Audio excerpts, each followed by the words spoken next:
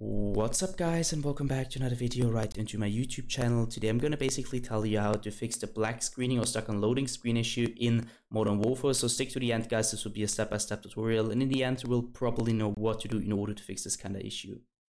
Before we start right into the video, I just want to you guys know, let you guys know that, that I would really, really appreciate it if you would just leave a like, a comment or a subscription right into my YouTube channel. It would really make my day and help me out as a little YouTuber as I am especially subscribing would be such a big support for me guys. You would support my work on youtube a little bit and i'm gonna really really be thankful for that and i'm gonna thank you for that. So anyways i would just say let's get right started.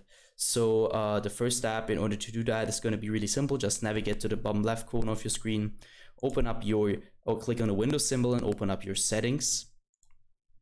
And once you're at your settings simply navigate right onto gaming and go to your game mode and simply, I can't really tell you now to turn it off or on. You just need to check it for your system specifically. So just turn it on or off and look if uh, anything happens. Uh, but the main part of this tutorial is going to be to uh, just simply close this one again afterwards. Uh, you're going to navigate to the bottom left corner again, click under the Windows symbol and type in Windows Defender Firewall. So once this one pops up, I want you to simply click enter or uh, simply left click it.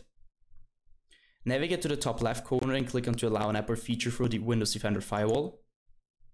And afterwards, just navigate to the right hand side, click on to change settings. And once you click that, you should be able to click on allow another, allow another app. Click on to browse and search for Modern Warfare. I can't really tell you where it is located because on every single PC is located somewhere different. So uh, I want you to search it and click on to open afterwards and then click on to add. This should fix your issue guys. Yeah, that's it for the video. I hope I could actually help you out with this one. If it was like that, just leave a like, a comment, or a subscription. I'm gonna really be thankful for that.